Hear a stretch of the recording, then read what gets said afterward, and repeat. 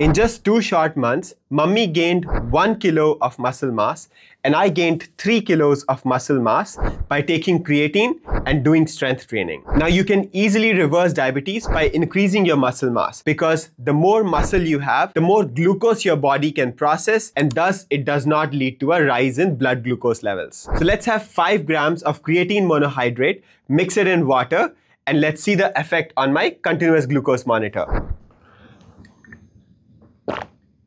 It doesn't taste like anything. Your body actually makes creatine, but by adding some more creatine to your daily routine, you can increase your muscle mass, boost your brain health, and increase your energy throughout the day. It's been a few hours. Let's take a look at the results. Wow, amazing. A 0 mg spike? This is great, especially if you're diabetic. I also chose a single ingredient creatine so that there are no additives in it. Remember to always do strength training when having creatine. And if you're afraid of creatine, don't be, especially if you're diabetic. Also, if you have any kidney issues, please consult a doctor before using creatine.